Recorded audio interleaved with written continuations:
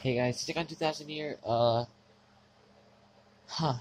So, the bag of ice is going to be a hard thing to get, so we're going to just get a whole ton of ice out of nowhere. Maybe since it's snowy out, we'll get like a giant bucket, split into four, uh, you know, four sections, and then make the bucket, you know, like across there, across there. There's gonna be four giant ice cubes we can put in the bathtub, that type of thing. That's how I'm thinking of doing it. I don't know though.